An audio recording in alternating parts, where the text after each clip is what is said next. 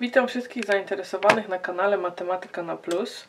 Tematem tego filmu jest e, zadanie maturalne związane z trygonometrią.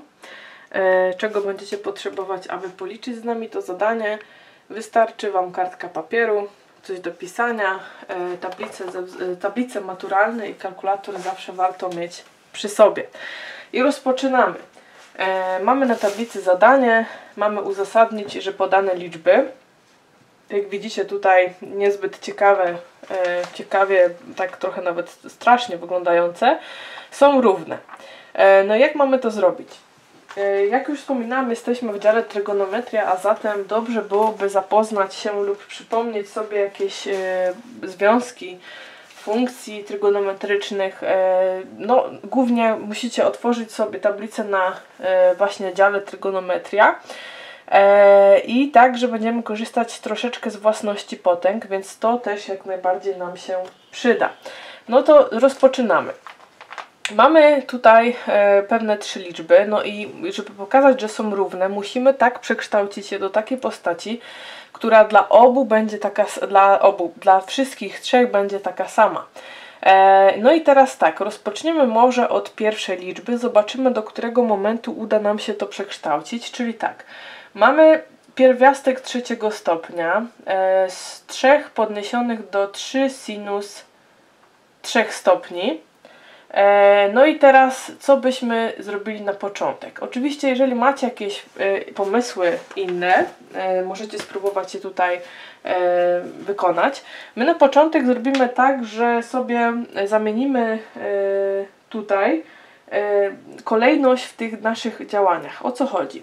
Jeżeli mamy w potędze mnożenie, tak jak tutaj mamy 3 razy sinus 3 stopni, to jest dla nas znak, że wcześniej e, wykonane tutaj było działanie, na które mówi się potęga potęgi. Je macie w, e, we wzorach, e, w tablicach maturalnych, tam na pierwszych stronach. O co chodzi? Ja mogę zapisać to tutaj potęgowanie jako 3 i na początku mogę zapisać do potęgi sinus 3 stopni w nawiasie i teraz do 3. I jeżeli ja będę chciała ten nawias opuścić, czyli wykonam potęgowanie potęgi, to zgodnie ze wzorem mnożę wykładniki, czyli powstaje mi dokładnie to, co miałam wcześniej. Czyli wszystko się zgadza. No i teraz zostawiam ten mój pierwiastek dalej jako pierwiastek. I teraz, moi drodzy, dlaczego to zrobiłam? Bo wiemy o tym, że e, w większości przypadków bez straty, jeżeli ja tu mam pewną potęgę pod pierwiastkiem, pewną, taką samą potęgę, takiego samego stopnia, jakiego stopnia jest pierwiastek, to one się nawzajem tak jakby kasują. Czyli mogę to wykorzystać tutaj, e, bo moja liczba pod e, tym pierwiastkiem tutaj, e, w tym nawiasie znaczy się, będzie liczbą na pewno dodatnią, bo sinus 3 stopni, jak spojrzycie sobie na wykres, to jest liczba dodatnia, trójka do liczby dodatniej też będzie dodatnia, więc bez straty mogę skasować sobie ten stopień pierwiastka z tą potęgą i zostaje mi tutaj 3 do sinus 3 stopni. I tu, moi drodzy, na razie, na tę chwilę nie będę więcej robiła. Nie wiem, nawet nie mam pomysłu, jak tu dalej to pociągnąć, więc zostawiam to w tej postaci.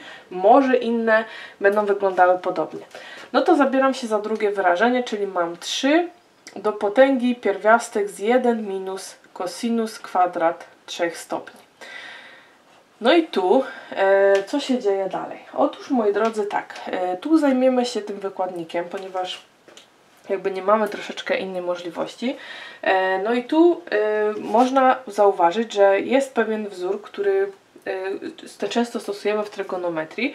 Jak sobie od, od, odwrócicie na, na tę stronę, gdzie macie różne związki między funkcjami trygonometrycznymi, to tam jest coś takiego jak jedynka trygonometryczna, która mówi mi, że jeżeli ja mam sinus kwadrat jakiegoś kąta plus kosinus kwadrat tego samego kąta, to to się równa 1.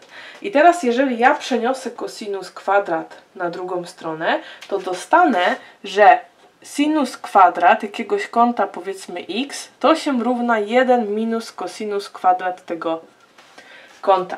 I zobaczcie, jeżeli ja uznam, że moim kątem, przyjmę, że moim kątem jest 3 stopnie, mój kąt jest równy tyle, to ja mogę to wyrażenie zamienić na sinus kwadrat 3 stopni. Czyli zapisuję to jako 3 do potęgi pierwiastek sinus kwadrat 3 stopni i to wszystko tu jeszcze pod pierwiastkiem. No i tu ktoś powie, że mogę wykonać to samo, bo mam stopień tutaj pierwiastka, czyli 2, taki sam jak, taki sam jak potęga, czyli mogę je znieść nawzajem, ale w przypadku y, potęg parzystych, pierwiastków parzystych, musicie pamiętać, że to się często wymienia na wartość bezwzględną. I teraz tak, kiedy mogę to opuścić bez straty? Mogę to opuścić, jeżeli wiem, że to wyrażenie tu podniesione do potęgi, czyli sinus 3 stopni jest dodatnie. My już wiemy z poprzedniego przykładu, z poprzedniego obliczenia, że sinus 3 stopni, jak spojrzymy sobie na wykres, jest na pewno dodatni, czyli ja bez straty mogę sobie to opuścić, czyli teraz pierwiastek usuwa mi potęgę i zostaje 3 do sinus 3 stopni. No i ktoś tu powie, no zobaczcie, Tutaj mam to samo i tu wyszło mi to samo, czyli okazuje się, że być może ta postać już to jest ostateczna postać, więc teraz wystarczy, że to trzecie wyrażenie, jeżeli przedstawię w tej postaci, to uzasadnię, że podane liczby są równe. No to próbuję to zrobić dalej. Czyli mam 3 do cosinus 3 stopni i tu mam tangens 3 stopni. I teraz, no co tu można zrobić? Jak tu można sobie z tym problemem poradzić? No więc moi drodzy, tak. E, tutaj e, no, możemy na początku skorzystać z własności potęgi, możemy sobie wymnożyć, tu mamy potęga potęgi, czyli to będzie 3 do potęgi, o tutaj jakieś włosy nam się pozaczepiały, usuniemy z markera, e, 3 do potęgi cosinus 3 stopni razy tangens 3 stopni. Ale to nadal nie rozwiązuje nam naszego problemu i okazuje się, że cóż, że no, nie jesteśmy w stanie e, jakby tutaj tego przekształcić. Ale jeżeli spojrzycie teraz z kolei we własności funkcji trygonometrycznych, związki między funkcjami trygonometrycznymi, okazuje się, że jak mogę przedstawić inaczej tangens? Otóż tangens jakiegoś kąta x, zgodnie z tym co macie w tablicach, mogę przedstawić jako sinus x przez cosinus x. I naszym x w tym wypadku jest oczywiście kąt równy 3 stopnie, e, czyli mogę zapisać to jako 3 do potęgi. Cosinus 3 stopni zostawiam, a tangens zamieniam na sinus 3 stopni przez cosinus 3 stopni. I teraz moi drodzy tak, cosinus 3 stopni y, mogę skrócić z tym cosinusem 3 stopni, czyli to wychodzi 1 i ostatecznie dostaję, że to będzie 3, 1 razy sinus 3 stopni przez 1, to dostaje sinus 3 stopni. I takim oto sposobem, jak widzicie, przedstawiliśmy każdą z tych liczb i wyszło nam te same wyrażenie, a zatem uzasadniliśmy, że podane liczby są równe, co należało dowieść, co należało w naszym zadaniu zrobić. I to jest, moi drodzy, koniec naszych obliczeń.